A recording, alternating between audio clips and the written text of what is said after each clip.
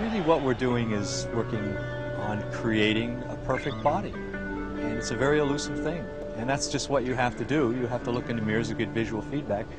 And the sport is in the competition. When you're up there, it's really sport. You're fighting it out with your competitors. Uh, when you're training, it's competition. It's, it's sport when you're training.